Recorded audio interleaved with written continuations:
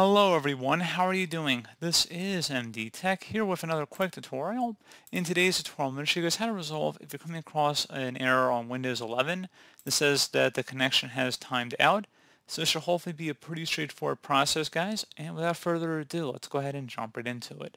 So we're going to start off by opening up the search menu, type in CMD, best result should come back with command prompt. Go ahead and right click on that and select run as administrator. If you receive a user account control prompt, go ahead and select yes. And now into this elevated command line window, you want to go type in ipconfig space forward slash flush DNS. Flush DNS should all be one word attached to that forward slash out front. Hit enter on your keyboard. Should come back a Windows IP configuration, successfully flushed the DNS resolver cache. Next thing you want to do is type in netsh space winsock, W-I-N-S-O-C-K space reset. Again, netsh space winsock space reset. Go ahead and hit enter on your keyboard to begin the system scan. Go ahead and hit enter on your keyboard.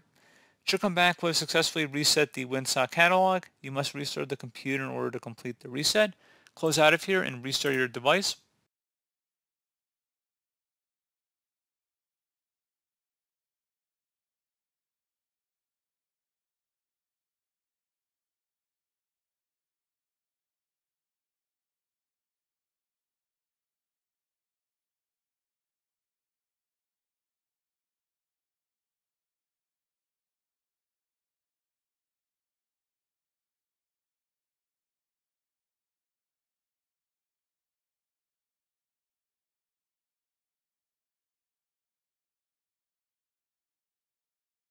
And there you go guys, should be as simple as that, and hopefully I was able to resolve your problem.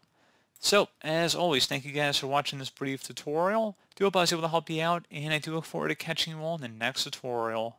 Goodbye.